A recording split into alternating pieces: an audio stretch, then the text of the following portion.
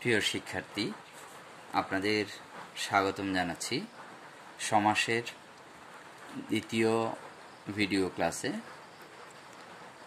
আজকে আমরা আলোচনা করব সমাসের প্রকারভেদ এবং এর মধ্য থেকে কোনো একটি প্রকারের বিস্তারিত আলোচনা। আমরা দেখতে পাচ্ছি সমাস প্রধানত ছয় প্রকার, দ্বন্দ্ব সমাস, দ্বিগু সমাস তৎপুরুষ সমাস, কর্মধার সমাস, বহুব্রীহি সমাস, অব্যয়ভাব সমাস। এগুলোকে আগে পরে করেও বলা যায়, কোনো অসুবিধা নেই। এবং আমরা এর আগে নবম, দশম শ্রেণীতে, তারও আগে অন্যান্য শ্রেণীতে বিশেষ করে অষ্টম শ্রেণীতে, সমাসের এই প্রকারভেদগুলোর সঙ্গে পরিচিত হয়েছি। এগুলো হচ্ছে প্রধান প্রকারভেদ। মানে সমাস কি কি উপায়ে গঠিত হয় তার বৈশিষ্ট্য অনুযায়ী যে ভাগ, সেগুলো হচ্ছে প্রকারভেদ। তাহলে এই ছয়টি প্রধান প্রকারভেদের সঙ্গে আরও কয়েকটি অপ্রধান প্রকারভেদ আছে সমাসের। যেমন, এগুলো হচ্ছে সেই অপ্রধান প্রকারভেদ। নৈ তৎপুরুষ সমাস উপপদ তৎপুরুষ সমাস, নৈবহুব্রী সমাস, প্রাদি সমাস, নিত্য সমাস। তাহলে এই অপ্রধান প্রকারভেদগুলোও কিন্তু গুরুত্বপূর্ণ, কেননা পরীক্ষায় এগুলো থেকেও এসে থাকে। তাহলে আমরা প্রধান প্রকারভেদগুলোর সঙ্গে এগুলো আলোচনা করব। তো আমরা প্রথমেই আলোচনা করতে পারি দ্বন্দ্ব সমাস, ধরে শুরু করতে পারি আমরা দ্বন্দ্ব সমাস। দ্বন্দ্ব নামটির মধ্যেই কিন্তু একটা একটা ঝামেলা লক্ষ্য করা যায়, কিংবা একটা মজার ব্যাপার লক্ষ্য করা যায়। দ্বন্দ্ব মানে এখনকার অর্থ তো বিরোধ। আর একসময় দ্বন্দ্ব সমা, দ্বন্দ্ব শব্দটার মানে ছিল মিলন। তাই দ্বন্দ্ব সমাসকে আমরা বলতে পারি মিলনাত্মক সমাস। এবং মিলনাত্মক সমাস এই অর্থেই কিন্তু দ্বন্দ্ব শব্দটার ব্যবহার।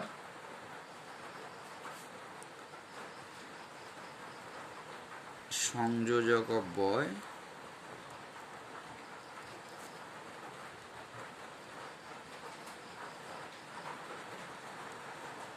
লোপে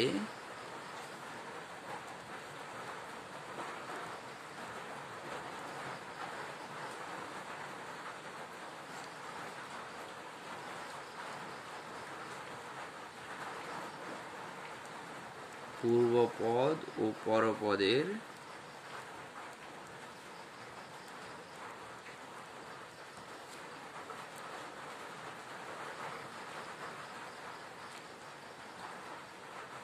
অর্থের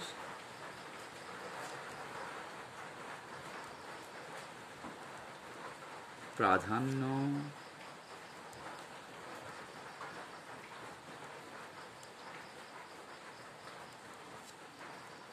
বজায় রেখে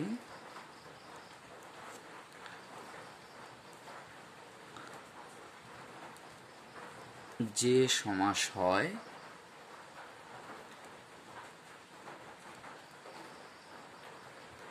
তাকে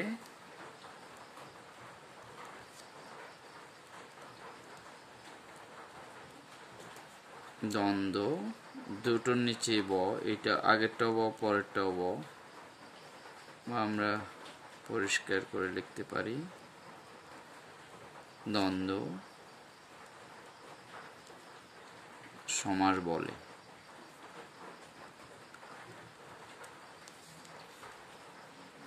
তাহলে সংযোজক অব্যয় লোপে পূর্বপদ ও পরপদের অর্থের প্রাধান্য বজায় রেখে যে সমাস হয় তাকে দ্বন্দ্ব সমাস বলে। এই সংযোজক অব্যয়টা থাকে ব্যাস বাক্যে আর এই ব্যাস বাক্য থেকে সংযোজক অব্যয়টা বাদ দিয়ে সমারবদ্ধ শব্দটা তৈরি হয়। যেমন, আমরা যখন বলি,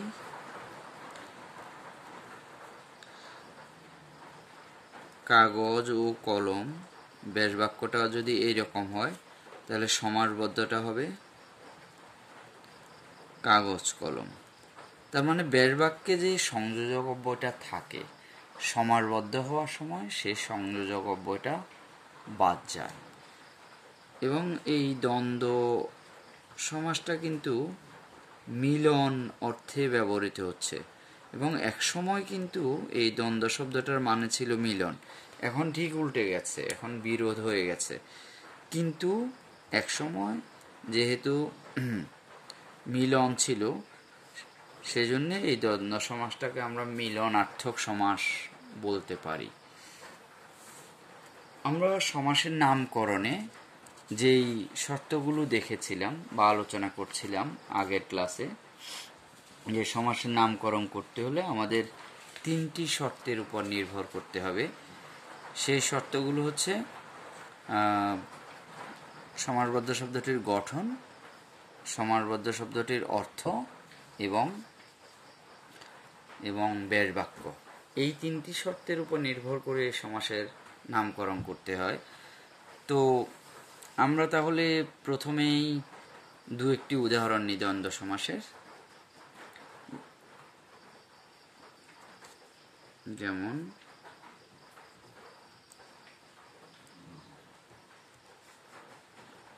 কাগজ, কলম।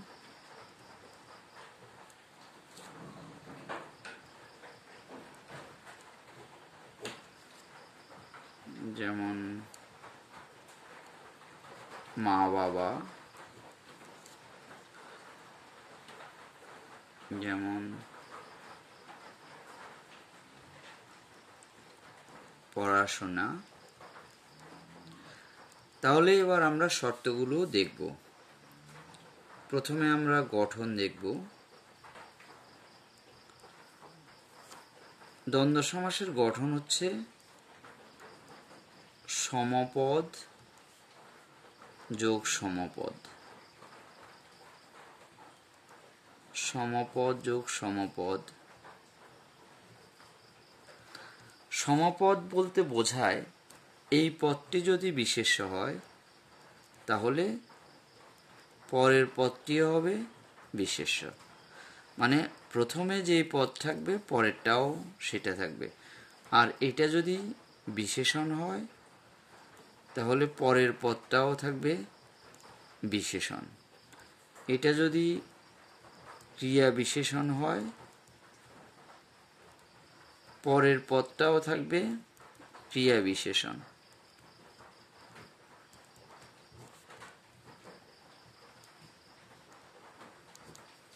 এই পদটা যদি ক্রিয়া থাকে, তাহলে পরের পদটা হবে ক্রিয়া। এই পদটা যদি ক্রিয়া বিশেষ্য থাকে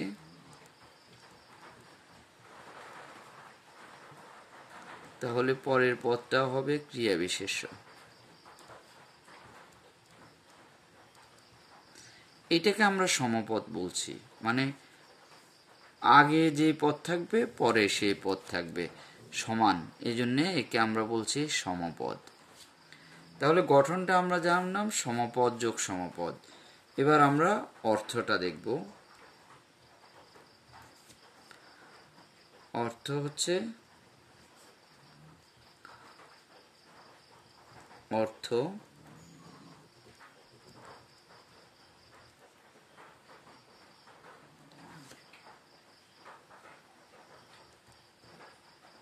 উভয় পদের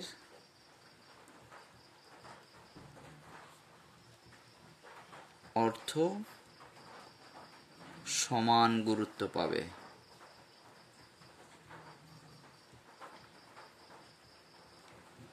তার মানে দ্বন্দ্ব সমাসে উভয় পদের অর্থই সমানভাবে গুরুত্ব পায়।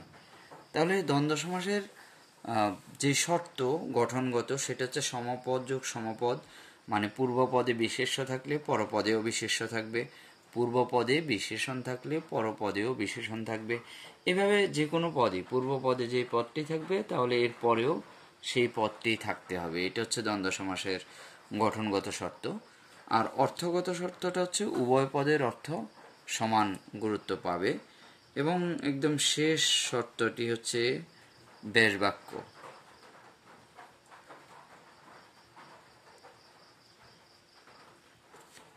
বেশ বাক্যে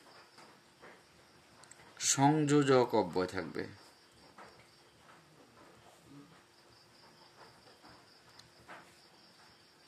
সংযোজক অব্যয় বলতে আমরা ব্যাকরণিক শব্দ শ্রেণীতে যেটিকে যোজক শব্দ বলি, সেই যোজক শব্দ এটিকে এখানে বলা হচ্ছে সংযোজক অব্যয় যেমন যেমন এবং, যেমন ও, এগুলো হচ্ছে সংযোজক অব্যয় তাহলে সংযোজক অব্যয় থাকবে। এই তিনটি শর্ত আমরা আবার দেখে নিই। গঠন হচ্ছে সমপদ যোগ সমপদ। অর্থ হচ্ছে উভয় পদের অর্থ সমান গুরুত্ব পাবে এবং ব্যাস বাক্যে সংযোজক অব্যয় থাকবে। এই তিনটি হচ্ছে দ্বন্দ্ব সমাসের শর্ত। তাহলে এই তিনটি শর্ত পূরণ করে কিনা আমরা একটু দেখব। যেমন কাগজ, এটি একটি বিশেষ্য শব্দ। এবং কলম, এটিও একটি বিশেষ্য শব্দ। তাহলে আমরা দেখলাম যে পূর্ব পদে বিশেষ্য, পরপদেও বিশেষ্য আছে। তারপরে মা, এটিও বিশেষ্য শব্দ, আমরা সংক্ষেপে লিখলাম। বাবা, পরপদেও বিশেষ্য আছে। তারপর পড়াশোনা, এইটা হচ্ছে ক্রিয়া বিশেষ্য সংক্ষেপে আমরা লিখলাম। পরপদে শোনা, এটাও ক্রিয়া বিশেষ্য তাহলে আমরা দেখলাম যে সমপদের সঙ্গে সমপদ আছে। পূর্ব পদে যেই পদটি থাকবে, পরপদেও একই রকম পদ থাকবে, সেটি আছে। এবার আমরা অর্থগত শর্তটা দেখব। এই যে কাগজ কলম বলতে কাগজ কলম দুটোই সমান গুরুত্ব পাচ্ছে, কোনোটি বেশি বা কম গুরুত্ব পাচ্ছে না। আবার মা বাবা বলতে মা এবং বাবা দুটি সমান গুরুত্ব পাচ্ছে। পড়াশোনা বলতে পড়া এবং শোনা দুটি সমান গুরুত্ব পাচ্ছে। তাহলে কোনো একটি শব্দ বেশি বা কম গুরুত্ব পাচ্ছে না। সেজন্যে এগুলোকে আমরা বলতে পারি যে উভয় পদের অর্থ সমান গুরুত্ব পাচ্ছে। এবং ব্যাস বাক্যে চলে আসি। তাহলে কাগজ কলমের ব্যাস বাক্যটা হচ্ছে কাগজ ও কলম। মা বাবার ব্যাস বাক্যটা হচ্ছে মা ও বাবা। পড়াশোনার বাক্যটা হচ্ছে পড়া ও শোনা। এবং সবগুলোই দ্বন্দ্ব সমাস তাহলে দ্বন্দ্ব সমাসের এই যে তিনটা শর্ত, গঠনগত সমপদ যোগ সমপদ অর্থ, উভয় পদের অর্থ সমান গুরুত্ব পাবে ব্যার বাক্য ব্যার বাক্যে সংযোজক অব্যয় থাকবে। এই সমারবদ্ধ শব্দগুলোতে এর সবগুলো শর্তই কিন্তু পূরণ করেছে। এবং যদি পূরণ না করত, তাহলে সেগুলো দ্বন্দ্ব সমাস হতো না। তো আমরা এবার দ্বন্দ্ব সমাসের আরও কয়েকটা উদাহরণ নিয়ে কথা বলি, বিশেষ করে সমপদের ব্যাপারটি।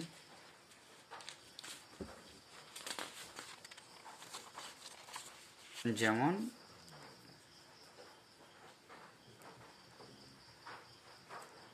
বিশেষ্য যোগ বিশেষ্যের সমাসের দু একটি উদাহরণ দেওয়া যেতে পারে। এটা আমরা উদাহরণে যে আলোচনা করেছি, সেটা আবার উদাহরণ দেওয়া যেতে পারে। কাগজ যোগ কলম কিংবা বই যোগ খাতা। এগুলো। বের বাক্যে। তাহলে সমাসবদ্ধ শব্দটা হচ্ছে কাগজ কলম, বই খাতা এবং বের বাক্যে যথারীতি মাঝখানেও থাকবে। কাগজ ও কলম থাকবে, বই ও খাতা। তারপর বিশেষণ যোগ বিশেষণের উদাহরণ দেওয়া যেতে পারে।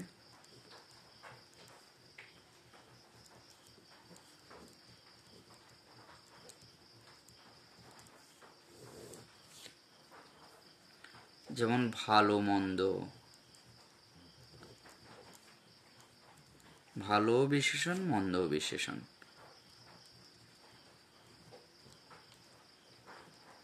বা এটা লিখতে হাইফেন দিয়েও লেখা যায়।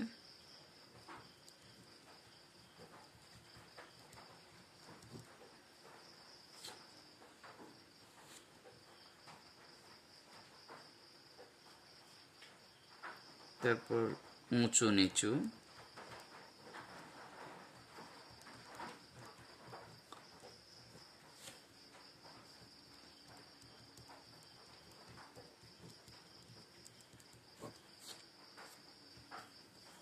তারপর ক্রিয়া বিশেষ্য এবং ক্রিয়া বিশেষের উদাহরণ দেওয়া যেতে পারে।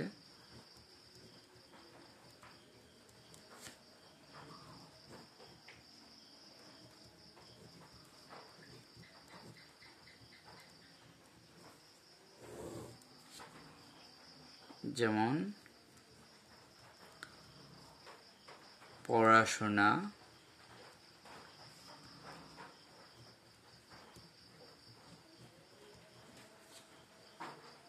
ওঠা বসা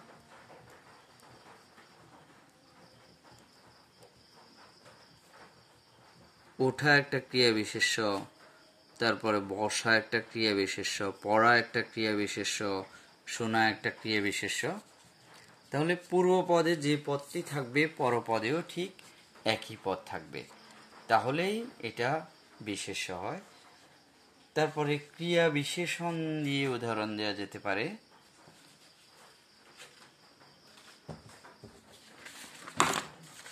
যেমন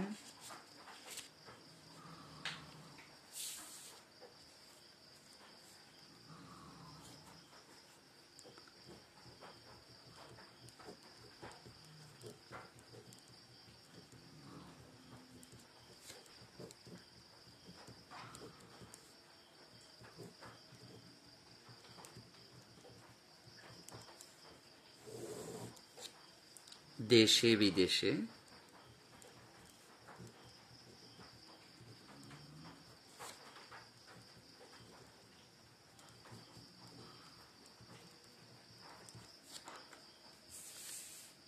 হাতে নাতে।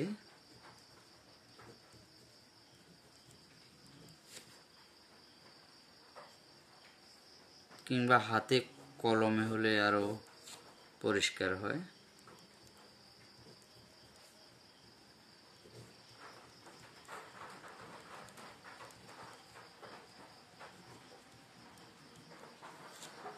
এগুলোকে ক্রিয়া বিশেষণ বলা হচ্ছে। এই জন্যে যেহেতু এই বিভক্তি যুক্ত হয়ে ক্রিয়াপদকে বিশেষিত করার মতো একটা স্থানবাচক শব্দ হয়েছে। যদি এগুলোতে এই বিভক্তি যুক্ত না হতো, তাহলে এগুলো বিশেষ হয়ে থাকতো। আমরা ব্যাকরণিক শব্দ শ্রেণীতে এরকম আলোচনাটা করেছিলাম। এবং এইখানে আমরা দেখতে পাচ্ছি যে, এই বিভক্তি লুপ্ত না হয়ে সমাস হয়েছে। এগুলো অবশ্য অলোক সমাসের অন্তর্ভুক্ত হতে পারে। আমরা সেই আলোচনায় আসব।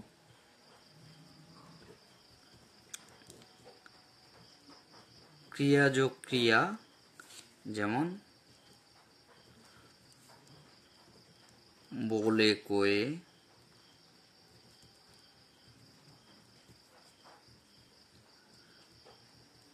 মেরে ধরে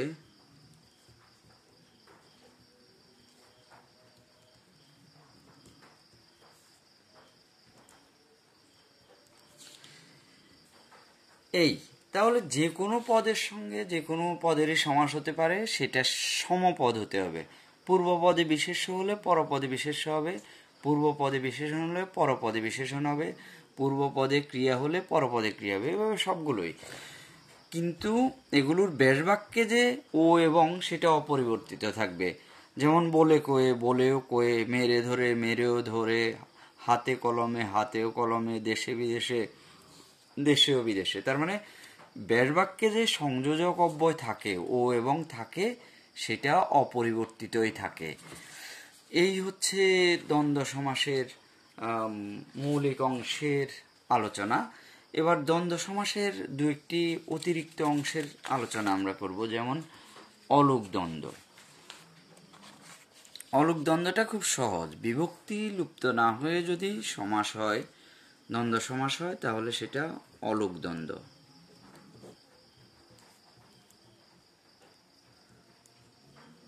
অলোক দ্বন্দ্ব। আমরা বলতে পারি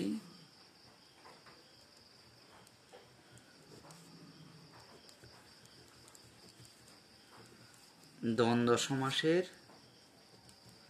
প্রক্রিয়ায়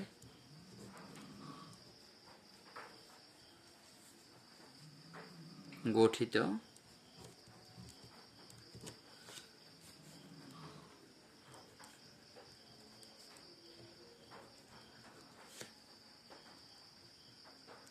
সমাসবদ্ধ শব্দের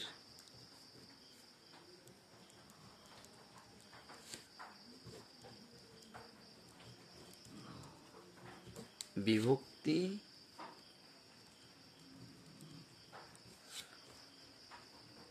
লোপ না পেয়ে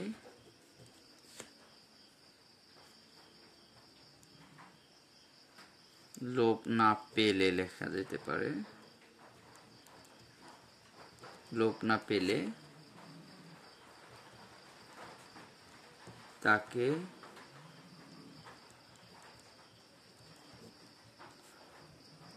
অলুক দ্বন্দ্ব সমাস বলে। তার মানে সমাজটা গঠিত হবে এমনভাবে যেটা দ্বন্দ্ব সমাসেরই সমার্থক, তবে সেখানে বিভক্তি লুপ্ত হবে না। এর মধ্যে আমরা যে আলোচনাটা করেছিলাম দু একটি উদাহরণ ওখানেও ছিল, যেমন দেশে বিদেশে।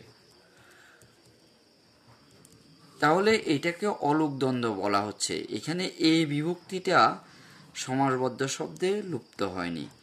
এই বিভক্তি আমরা জানি, এই বিভক্তি হচ্ছে সপ্তমী বিভক্তি। তাহলে সমাস বিভক্তি সমাস, সমাসবদ্ধ শব্দে এই বিভক্তিটা রয়ে গেছে। সমাসবদ্ধ শব্দে যখন বিভক্তিটা থেকে যায়, তখন একে বলে অলোক দ্বন্দ্ব যেমন আদায় কাজকলায় আদায় কাজকলায়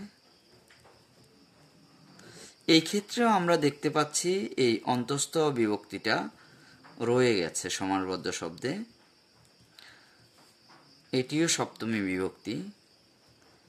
তাহলে বিভক্তি লুপ্ত না হয়ে এই সমারবদ্ধ শব্দগুলো তৈরি হয়েছে বলে এদেরকে অলুক দ্বন্দ্ব সমাস বলে। যদি এটা দ্বন্দ্ব সমাসের বৈশিষ্ট্য ধারণ না করতো, তাহলে দ্বন্দ্ব সমাস হতো না। অলুক তৎপুরুষও আছে, সেটা অলুক তৎপুরুষ মানে তৎপুরুষ সমাসের বৈশিষ্ট্য ধারণ করে। তাহলে এগুলো দ্বন্দ্ব সমাসের বৈশিষ্ট্য ধারণ করে মানে ওই যে বেশ বাক্যটা আলোচনা করলেই আমরা বুঝতে পারব। যেমন দেশে ও বিদেশে আমরা খুব পরিষ্কারভাবে বুঝতে পারছি এটা দ্বন্দ্ব। যেমন আদায় ও কাঁচকলায়। আদায় ও কাঁচকলায়। তাহলে এই ক্ষেত্রে আমরা দেখতে পাচ্ছি এগুলো দ্বন্দ্ব সমাসের যে বৈশিষ্ট্য, সেগুলো ধারণ করে। কি কি বৈশিষ্ট্য? যেমন পূর্ব পদে একটা ক্রিয়া বিশেষণ, পরপদেও একটা ক্রিয়া বিশেষণ, পূর্বপদে ক্রিয়া বিশেষণ, পরপদেও ক্রিয়া বিশেষণ। এগুলো সূক্ষ্মভাবে আলোচনা করলে ক্রিয়া বিশেষণ স্বাভাবিকভাবে বিশেষের মতো দেখাচ্ছে।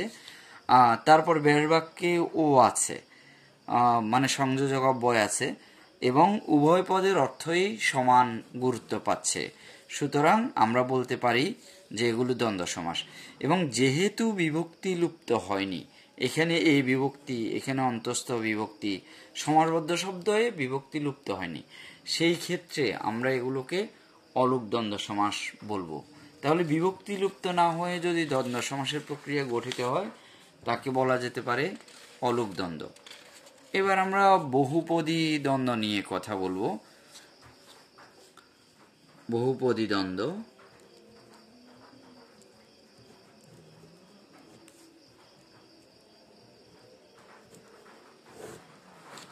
দ্বন্দ্ব সমাসে অনেক সময় দুয়ের বেশি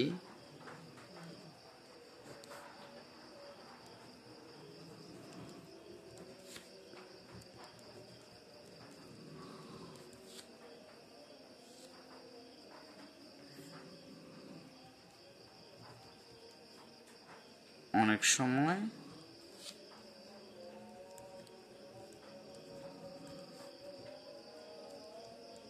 দুয়ের বেশি পদ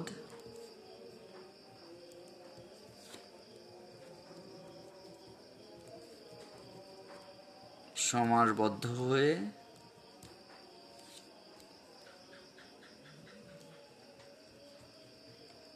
এক পদ হিসেবে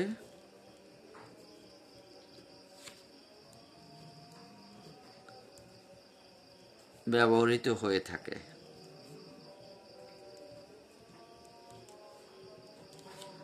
এগুলোকে বহুপদী দ্বন্দ্ব বলে।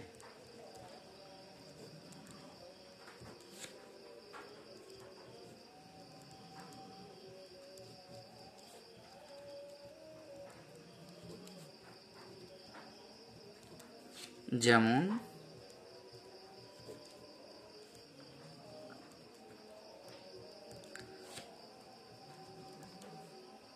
নাক, কান, গলা। আমরা খুব বেশি ব্যবহার করি এই শব্দটি। তাহলে এর ব্যাস বাক্যটা হচ্ছে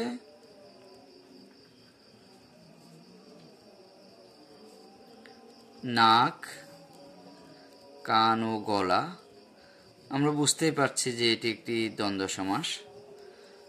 তারপর টক ঝাল মিষ্টি, এটারও বহুল ব্যবহার আছে। ঝাল, মিষ্টি। এবং এটির বের বাক্য হচ্ছে টক, ঝাল ও মিষ্টি। ও মিষ্টি। সুতরাং এটিও একটি দ্বন্দ্ব সমাস, এই। এবং বহুপদী বলা হচ্ছে এই জন্যে এগুলো দুয়ের অধিক পদ নিয়ে গঠিত হচ্ছে, তিনটি করে পদ নিয়ে গঠিত হচ্ছে। যদি দুয়ের অধিক পদ নিয়ে দ্বন্দ্ব সমাস গঠিত হয়, তাহলে একে বলা যেতে পারে বহুপদী দ্বন্দ্ব। আরেকটি উদাহরণ খুব স্বাভাবিকভাবে ব্যাকরণ বইগুলোতে দেখা যায়, সাহেব, বিবি, গোলাম। এইটাও একটা বহুপদী দ্বন্দ্বের উদাহরণ। তবে মনে রাখবেন, বহুপদী দ্বন্দ্ব কেবল তিনটি পদ নয় আরও অনেক বেশি পদ নিয়েও তৈরি হতে পারে। যেমন চোখ, কান, নাক, চোখ, কান, নাক, জিহ্বা, ত্বক। তাহলে এখানে পাঁচটা পদ নিয়ে তৈরি হলো। চোখ, কান, নাক, জিহ্বা এবং ত্বক। পাঁচটা শব্দ নিয়ে দ্বন্দ্ব সমাস তৈরি হলো। এরকম এই দুয়ের অধিক শব্দ নিয়ে তৈরি হওয়া দ্বন্দ্বগুলোকে আমরা বলব বহুপদী দ্বন্দ্ব। এবং দুয়ের অধিক মানে সেটা তিন পদ হতে পারে, চার পদ হতে পারে, পাঁচ পদ হতে পারে, তার বেশিও হতে পারে। এই হচ্ছে বহুপদী দ্বন্দ্বের উদাহরণ। এবং দ্বন্দ্ব সমাসের একেবারে শেষ প্রান্তে আমরা চলে আসলাম। একে একশেষ দ্বন্দ্ব বলে। এটির আলোচনার মধ্য দিয়েই দ্বন্দ্ব সমাসের আলোচনা শেষ হবে।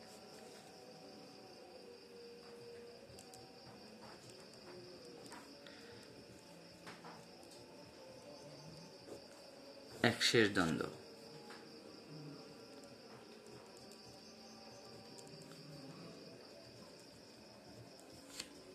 কোনো কোনো সর্বনামে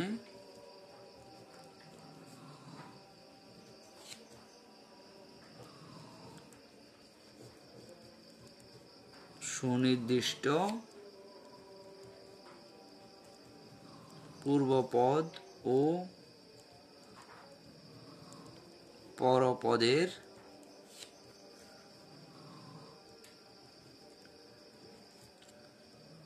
সমাস হয় না। কিন্তু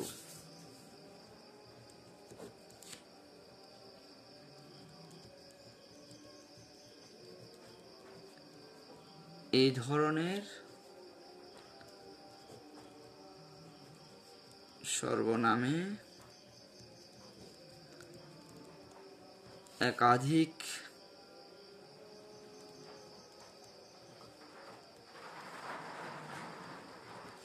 সর্বনাম নিহিত থাকে।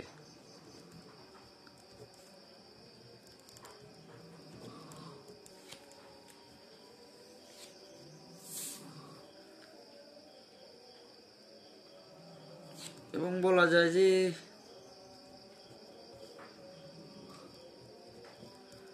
এবং একটি সর্বনাম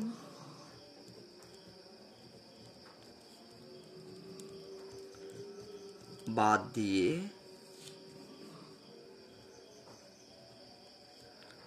অর্থ হয়, তাই এর নাম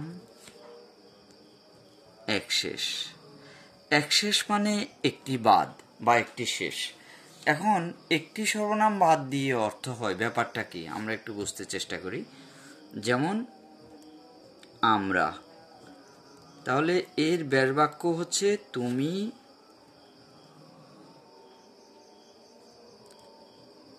আমি ও সে। যেমন, তোরা। এর ব্যাস বাক্য হচ্ছে, তুমি এবং তারা। এগুলোকে আমরা বলব একশেষ দ্বন্দ্ব। একশেষ দ্বন্দ্ব, এবার আমরা একটু বুঝে নিই একশেষ জিনিসটা কি। যেমন, আমরা যখন বলি আমরা, তখন কিন্তু এর যে কোনো দুইটা পদ নিয়ে সেটা গঠিত হতে পারে। যেমন, আমি এবং তুমি। এই দুটো পদ নিয়েও কিন্তু আমরা গঠিত হতে পারে। সেকে বাদ দেয়া যায়? মানে যে কোনো দুইটা নিয়ে গঠিত হতে পারে। আবার যখন বলি তোরা, তাহলে তুমি এবং তারা, এটা হচ্ছে তোরা। তাহলে তুমি, তারা এবং সে, এই তিনটার মধ্যে আমরা দুটোকে এখানে গ্রহণ করলাম, সেটাকে বাদ দিলাম। মানে সব মিলিয়ে যতগুলো পক্ষ বা পুরুষের সর্বনাম ব্যাসবাক্যে থাকতে পারে, এর কোনো একটাকে বাদ দেয়া যায় বলে এদেরকে একশেষ দ্বন্দ্ব বলে।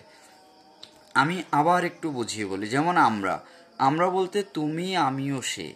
এই তিনটাকে বোঝায়? তিনটা শ্রেণীকে বোঝায়? বা তিনটা পুরুষ বা তিনটা পক্ষকে বোঝায়? কিন্তু আমরা চাইলে আমরা থেকে এই যে আমিও তুমি, এই দুইটা রেখে সেকে বাদ দিতে পারি। তার মানে আমরা শব্দটিতে এই তিনটার যে কোনো দুইটা দিয়েই আমরা বোঝানো যায়। এই জন্য একে বলে একশেষ। তো এই হচ্ছে দ্বন্দ্ব সমাসের বিস্তারিত আলোচনা। আমরা পরের ক্লাসে আবার অন্য কোনো সমাসের আলোচনা নিয়ে আসব। ধন্যবাদ সবাইকে।